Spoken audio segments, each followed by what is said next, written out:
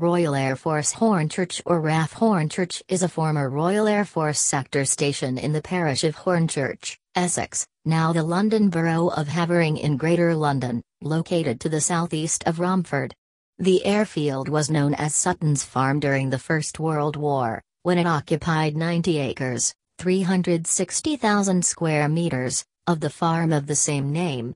It was used for the protection of London, being 14 miles, 22.5 kilometers, east-northeast of Charing Cross. Although the airfield closed shortly after the end of the war, the land was requisitioned in 1923 because of the expansion of the Royal Air Force and it reopened as a much larger fighter station in 1928.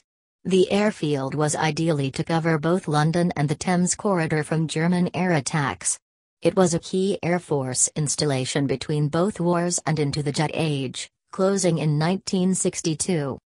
In 1915 the London Air Defence Area, LADA, was established and airfields were built around London to defend the capital from the growing threat from German airships. Sutton's Farm, along with its neighbour Hainault Farm, just east of what became the Second World War airfield of Fairlop, 8 miles, 12.9 kilometers, to the northeast, were selected due to their location covering the eastern approaches to London. They were named Landing Grounds Nos. 2 and 3 respectively and joined the existing airfields of North Weald, Rochford, and Joyce Green. Sutton's Farm Airfield became operational on October 3, 1915, initially with two BE-2C aircraft.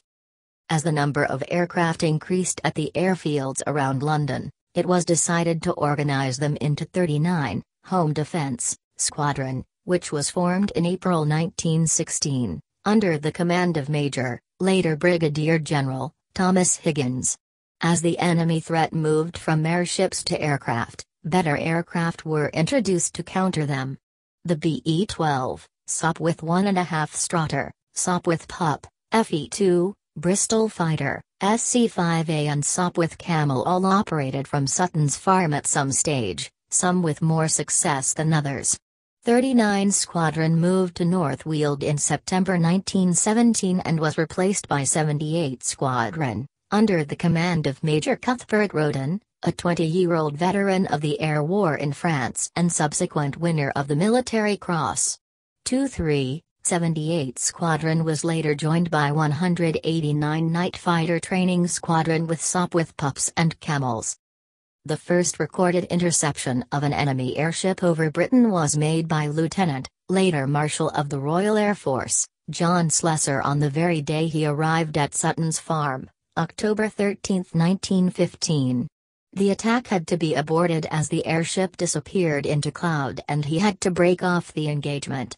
4. The first victory in Britain was not recorded until nearly a year later, on September 2, 1916 and was attributed to a pilot from Sutton's Farm, Lieutenant William Leefe Robinson. Robinson shot down a Schütte-Lanz SL-11, one of a 16-strong raiding force over London, using new Brock and Pomeroy mixed incendiary ammunition, which had been adapted for this task. 5. For this action Leefe Robinson was awarded the Victoria Cross and became a national hero. Two other Sutton's Farm pilots from the First World War, Lieutenant Frederick Sowrey and Lieutenant Wulstan Tempest, were awarded the DSO for their roles in the destruction of Zeppelins. 6. Tempest's actions were particularly notable, even though his fuel pump was broken and he was having to pump fuel manually whilst flying the aircraft with his other hand he still managed to engage and destroy an enemy airship and then find his way home in thick fog. These pilots, together with many others, are commemorated by street names in South Hornchurch. 7. Interwar years. Soon after the war ended, it was decided that Sutton's farm was surplus to requirements and the airfield was decommissioned, although it was retained on List C, stations temporarily retained for service purposes, until February 27, 1928. The land was returned, most of the buildings demolished and farming resumed once more. Following the decision in the early 1920s to expand the Royal Air Force, former First World War airfields were inspected to ascertain their suitability for use. Although small, Sutton's farm was ideally located to be able to defend the northeastern approaches to London. After protracted negotiations, the original land was repurchased, together with some further land to the south of the original airfield. The new airfield took four years to build and opened, as RAF Sutton's farm, in April 1928. Two months later the name was changed to RAF Hornchurch and the first unit to take up residency was No. 111 Squadron, led by squadron leader Keith Park, who also became the first station commander. Second World War During the Second World War the station was the sector airfield of RAF Fighter Command's 11 Group, covering London and the southeast of England during the Battle of Britain in 1940. By this time, its command center was in Romford, and a satellite station, an advanced attack outpost, RAF Rochford, was unpopular with the Hornchurch crews sent there from time to time because of the canvas accommodation. Richard Hillary, author of The Last Enemy, was shot down after taking off from here on September 3, 1940. Following the war, Hornchurch was home to Flying Training Command's Aircrew Selection Center for 10 years before it moved to RAF Biggin Hill. A balloon unit was retained until closure for parachute training of military personnel, when on the May 14, 1961, CSM Albert T. Small of 10 Para Regiment, TA, was a balloon cage dispatcher won the George Medal for gallantry due to a deflating balloon at 800 feet. The RAF station at Hornchurch closed in July 1962. Following a period of gravel extraction and infilling with rubbish in the 1970s, the airfield was extensively landscaped to create Hornchurch Country Park, with work commencing in 1980. Most of the former administrative and technical areas, including the two Type A and one Type C hangars, were leveled in the 1960s and the area is now a housing estate. The names of the streets of the estate commemorate the airfield and its pilots, such as Bouchier Walk, Curtain Close, Tempest Way, Robinson Close, Tuck Road, Bader Way and Mayland Square. The former officers' mess is now a medical center in Astra Close. The officers' mess, Astra House, officers' quarters, Astra Court East, West and North, and Woe Quarters, 89 to 99, odd numbers, Wood Lane, are included in the RAF Hornchurch Conservation Area. A local school, the R.J. Mitchell School, was named after the man who designed the Spitfire, and a large monument to this effect, with wreaths placed on Remembrance Day, is within the school railings. Another local school, Sutton's School, was renamed Sanders Draper School in 1973, after an American pilot, Flying Officer Ray Raymond, Smudge, Sanders Draper, flying with the Royal Air Force at the time, had an engine failure on takeoff and stayed at his controls to ensure his aircraft didn't crash on the building, which was full of children at the time. A number of pillboxes, command bunkers and gun positions, together with the largest number of surviving Tett turrets in England, still exist within the boundaries of the former airfield and can be seen on the eastern edge of the country park. RAF Hornchurch artifacts and memorabilia are housed in the Purfleet Heritage and Military Centre. RAF Hornchurch was the subject of one of the programs in the BBC TV series Two Men in a Trench. In the program, several of the defences were examined. One of the Tett turrets was excavated, the backfill of which contained a pair of 1940 RAF pilot's goggles along with material from the hospital. 9. The fire trench, a partially buried pillbox and a knee-pin were excavated, while the gun emplacement on the northern end of the site was cleared of vegetation.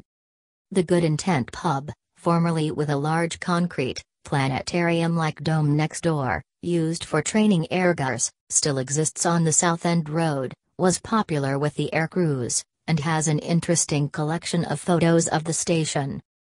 A DVD about RAF Hornchurch was produced by Mike Jones for Streets Ahead Productions.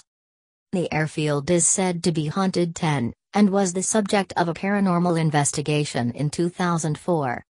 Finally after a great many years of hard work by the dedicated members of Hornchurch Aerodrome Historical Trust there is to be an RAF Hornchurch Heritage Centre opening in Sutton's House on Sutton's Lane. This was on the grounds of the former Sutton's Institution, later St. George's Hospital, which was commandeered by the Air Ministry for use by RAF personnel during the Second World War. William Leefe Robinson Although Robinson was awarded the Victoria Cross for shooting down Schütte-Lanz SL-11 in 1916, it wasn't celebrated in all quarters, particularly by serving pilots in France. Home defense was viewed as a relatively easy role and Robinson had trouble earning the respect of his fellow pilots when he was subsequently posted to France. These views were compounded when Robinson was shot down by aircraft led by Manfred von Richthofen shortly after arriving in France. The awarding of the VC was, undoubtedly, partly politically motivated, although it must be remembered that any form of flying was inherently dangerous in 1916, particularly at night and at these tremendous heights without oxygen. Robinson also managed to single-handedly lift the spirit of a nation that had suffered the new terror of aerial bombardment from the apparently invincible airships. 11. Use of incendiary ammunition. Although effective in destroying enemy airships, the use of incendiary ammunition was banned under the terms of the Hague Convention of 1899-12, and pilots using it had to have signed orders from their commanding officer. This type of ammunition was issued only to squadrons in home defense roles and never to squadrons serving overseas. On his return to Sutton's farm, William Leefe Robinson CO ordered him to keep quiet about it 13, as it was thought the propaganda value for the enemy would be invaluable should it leak out even though the Germans had already broken the terms of the convention by using gas in 1915. Later in the war the use of incendiary ammunition became officially recognized. 14. The Battle of Barking Creek. Main article, Battle of Barking Creek. The first aircraft to be shot down by the British in the Second World War, the circumstances surrounding which later came to be known as friendly fire incidents, were two Hawker Hurricanes of 56 Squadron. On September 6, 1939, three days after the declaration of war, a searchlight battery on Mersea Island incorrectly identified a friendly aircraft crossing the Essex coast. A message was relayed to HQ 11 Group, which ordered Hurricanes from North Weald to investigate. They were subsequently misidentified as hostile aircraft themselves by the chain home radar at Canewdon. 15, further aircraft from North Weald were scrambled to intercept their comrades, but they too were misidentified through a combination of miscommunication, inexperience and overenthusiasm. A tragic, but inevitable mistake was now just minutes away. Spitfires from 74 Squadron, led by Sailor Malan, took off from Hornchurch and quickly engaged two Hurricanes, shooting them both down. Pilot Officer Montague Hulton Harrop was killed whilst the other pilot, Pilot Officer Tommy Rose, bailed out and landed safely. The two pilots responsible for the attack, Pilot Officer John Freeborn and Flying Officer Paddy Byrne were placed under arrest upon their return to Hornchurch.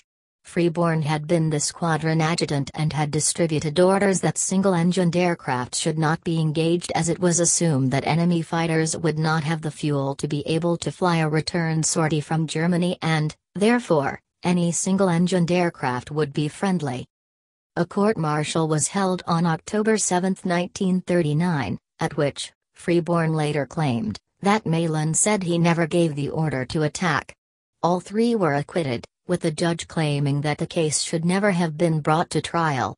The proceedings have never been made public. 16 17 18. Station Commanders. Name 19, rank as CO from to later career.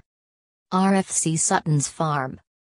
Air Commodore T.C.R. Higgins Major April 19, 2016 June 13, 2016 OCNO 10 Group Major W.C.H. Mansfield Major June 13, 2016 July 26, 2016 Major A. H. Morton Major July 26, 2016 March 20, 2017 Major R.G. H. Murray Major March 20, 2017 July 7, 2017 Major J.C. Hillahan Major July 7, 2017 September 8, 2017 Major W.H.D. Aklan Major September 8, 2017 August 30, 2017 Air Marshal Sir P. Babington Major August 30, 2017 January 9, 2017 Akin Chief Flying Training Command Major C.R. Roden Major January 9, 2017 April 26, 2018 Major G. Allen Major April 26, 2018 December 8, 2018 Major C.J. Turan Major December 8, 2018 December 31, 2019 RAF Hornchurch. Air Chief Marshal Sir Keith Park SQNLDR January 4, 2028 March 16, 2029 OCNO 11 GP, CNC, Air Command Southeast Asia 20 Group Captain F.O. Soden SQNLDR August 3, 2029 Station Commander Biggin Hill December 1940, June 1941 Air Marshal Sir Leonard Slatter SQNLDR October 25, 2029 January 4, 1930 Out Coastal Command 20 Air Commodore E.R. Manning WG Commander April 4, 1930 Out No 223 Group Air Commodore C. H. Nicholas W.G. Commander July 22, 1933 Returned June 10, 1939 as Group Captain Nicholas. Squadron Leader W.V. Hyde W.G. Commander April 12, 1935 December 22, 1935 Air Vice Marshal A.S.G. Lee W.G. Commander December 22, 1935 Chief British Military Air Mission to Marshal Tito. Air Vice Marshal Sir Matthew Frew WG Commander February 4, 1937 July 27, 1938 Dock Training HQ SAF 20 Group Captain C.T. Walkington WG Commander July 27, 1938 Air Commodore C. H. Nicholas GP Captain June 10, 1939 Duty Air Commodore HQ ADGB Air Vice Marshal Sir Cecil Bouchier WG Commander December 20, 1939 December 21, 1940 AK British Commonwealth Air Forces of Occupation Japan 21 Air Chief Marshal Sir Harry Broadhurst WG Commander December 20, 1940 December 5, 1942 AK Bomber Command, Managing Director AV Rowan Co 21 Air Vice Marshal C.G. Lott GP Captain May 14, 1942 Commandant School of Land, Air Warfare Air Commodore A.G. Adnams GP Captain May 1, 1943 UK, RAF Land, Air Warfare School Air Commodore H.L. Maxwell GP Captain July 20, 1943 October 28, 1943 Director of Air Policy Shape Air Vice Marshal FDS Scott Malden WG Commander October 28, 1943 June 2, 1944 Assistant Chief of Air Staff, Policy Wing Commander R. Watts Jones SQNLDR June 2, 1944 April 20, 1944 Squadron Leader R. S. Davis SQNLDR April 20, 1944 January 12, 1944 Squadron Leader R.J. Clare Hunt SQNLDR January 12, 1944 July 14, 1946 Wing Commander G.W. Day WG Commander July 14, 1946 March 12, 1946 Wing Commander S. H. Page WG Commander March 12, 1946 July 28, 1947 Air Marshal D. McFadden A.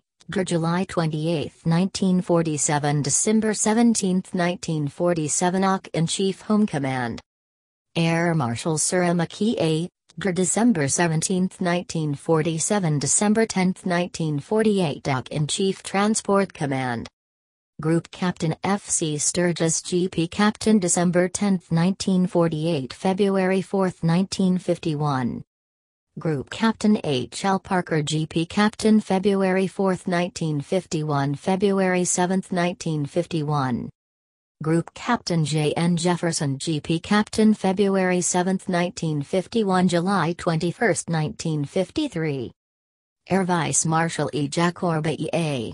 July 21, 1953 January 18, 1954 ACNO 61 Group Southern Wing Commander A.J. Hicks WG Commander January 18, 1954 August 3, 1954 Group Captain W.G. Davis W.G. Commander August 3, 1954 April 12, 1954 Wing Commander C.A.R. Cruz W.G. Commander April 12, 1954 September 5, 1955 Wing Commander A.N. Jones W.G. Commander September 5, 1955 October 30, 1957 Wing Commander H.D.U. Dennison W.G. Commander October 30, 1957 September 4, 1962 Squadrons During its relatively short life, RAF Hornchurch became home A, to many RAF squadrons.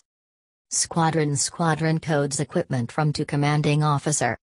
Number 39 Squadron Royal Aircraft Factory BE-2C Miniature Profile Silhouette.jpg Royal Aircraft Factory B.T.2C April 15, 2016 0917 North Weald Major Thomas Higgins.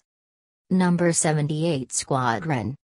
Sopwith Camel Miniature Profile Silhouette.jpg.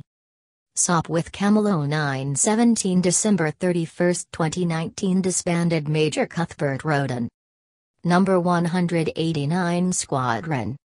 SOP with Camel Miniature Profile Silhouette.jpg. Sopwith Camel 418 January 3, 2019 Disbanded Major H.S. Powell. Number 111 Squadron. Armstrong Whitworth Siskin Miniature Profile Silhouette.jpg. Armstrong Whitworth Siskin January 4, 2028 SQNLDR Keith Park. Bristol Bulldog IIA Miniature Profile Silhouette.jpg. Bristol Bulldog IIA 131 December 7, 1934 Northolt.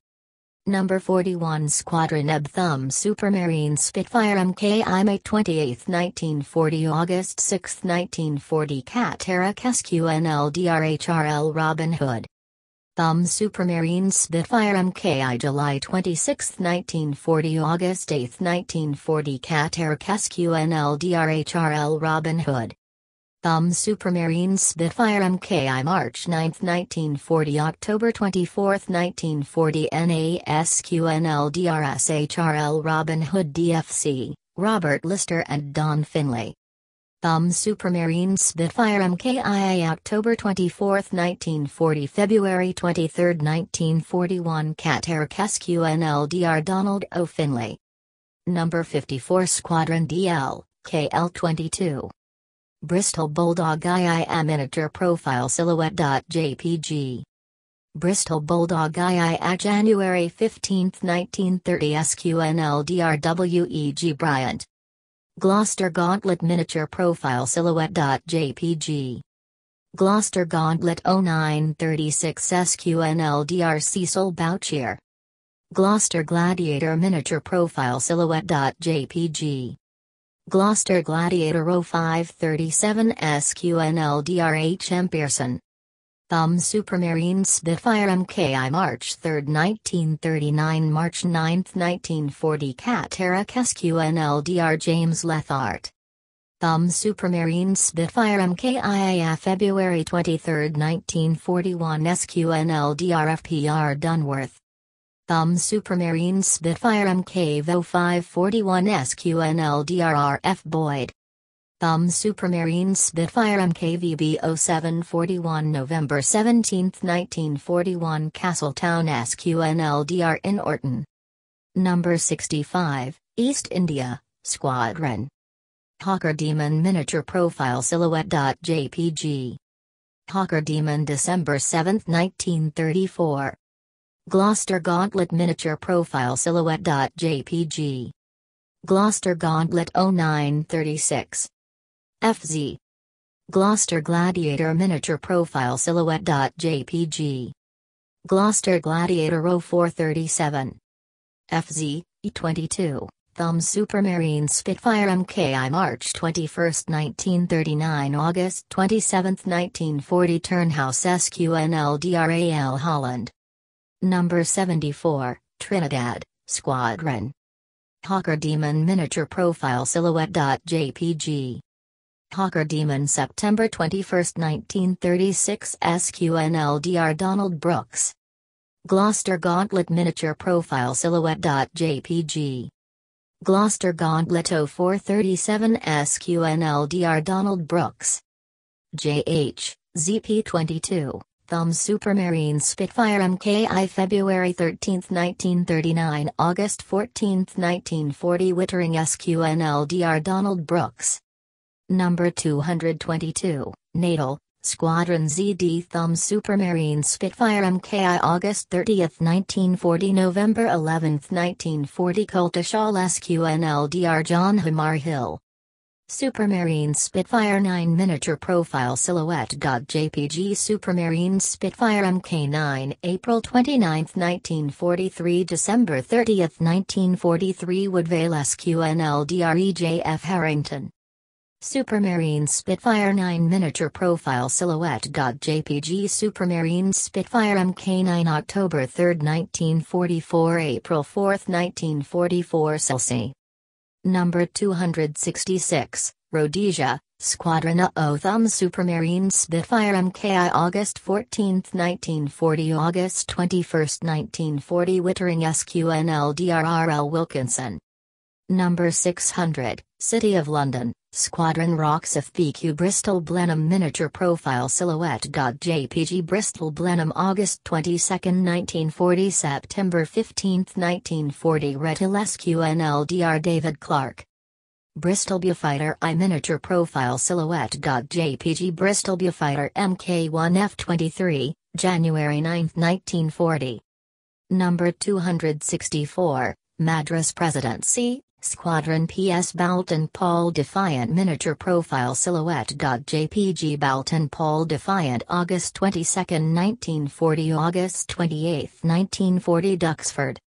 Number 603, City of Edinburgh, Squadron Rocks FXT Thumb Supermarine Spitfire MK August 27, 1940 SQNL DRGL Denholm, DFC.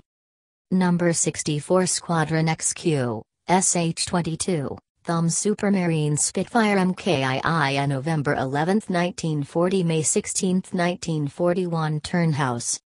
Thumb Supermarine Spitfire MKV November 16, 1941 March 28, 1943 Turnhouse.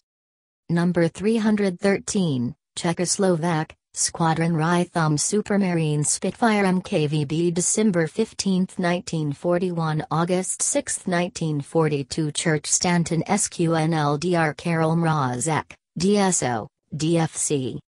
Thumb Supermarine Spitfire MKVC December 15, 1941 August 6, 1942 Church Stanton SQNLDR Karel Mrazek, DSO, DFC.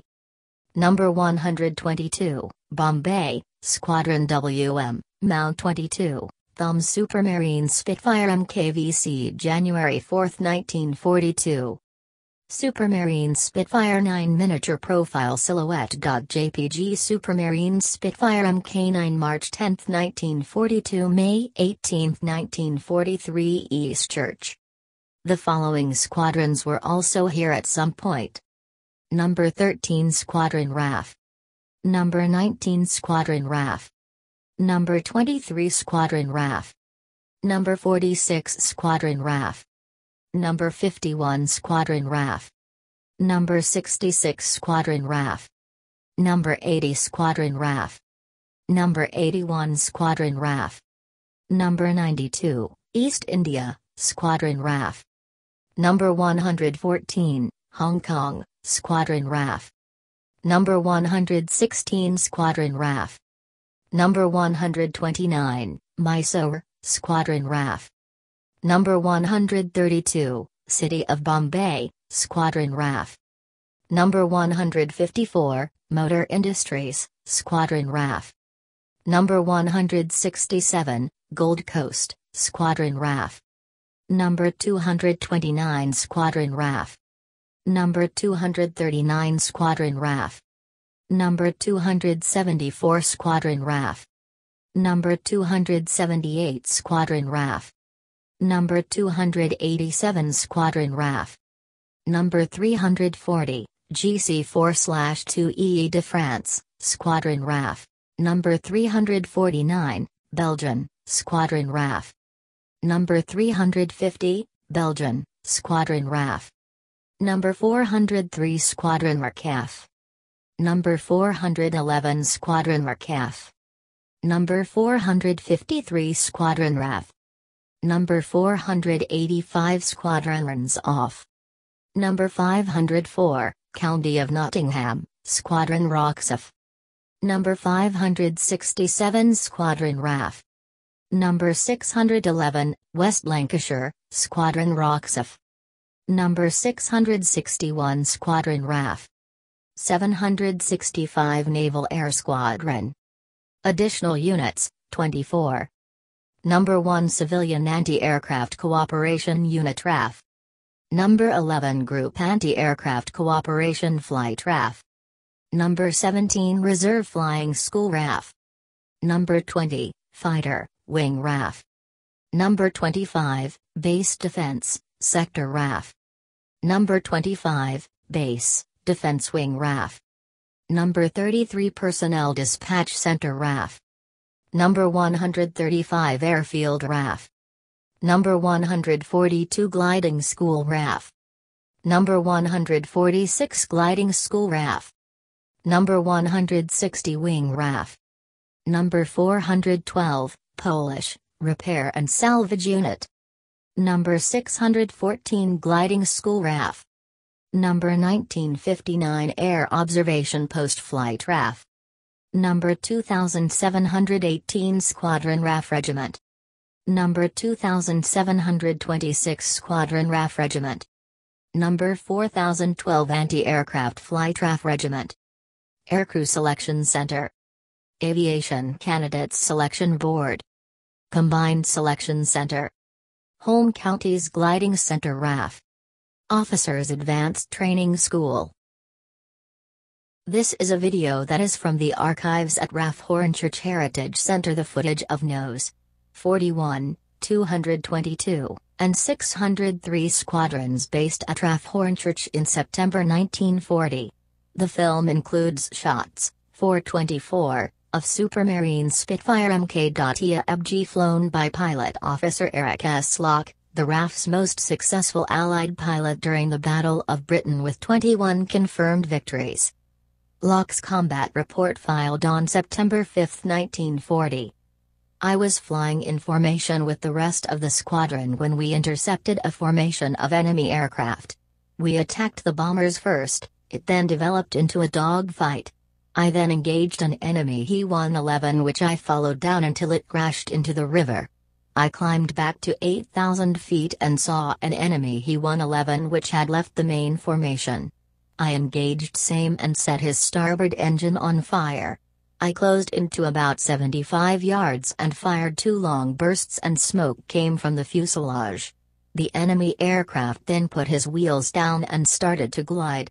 I stopped firing and followed him down. I was then attacked by a Me-109 who fired at me from below and wounded me in the leg. As he banked away he stall turned. I fired at him and he exploded in midair. I then followed the bomber down until it ditched on the sea about 10 miles from the first one in the mouth of the river.